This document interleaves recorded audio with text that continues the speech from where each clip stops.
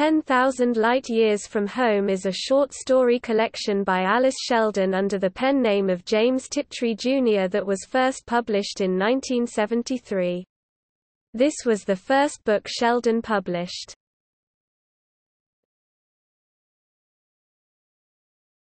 Topic: Contents.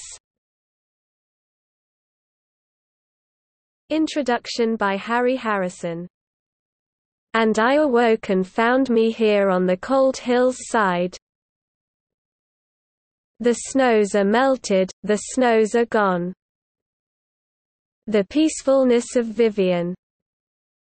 Mama come home, aka the mother ship. Help, aka Pupa knows best.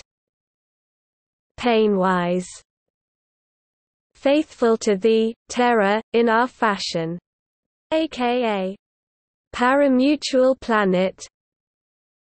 The man doors said hello to the man who walked home forever to a Hudson Bay blanket.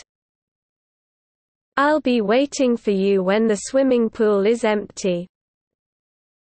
I'm too big but I love to play. Birth of a Salesman. Mother in the Sky with Diamonds. Beam Us Home.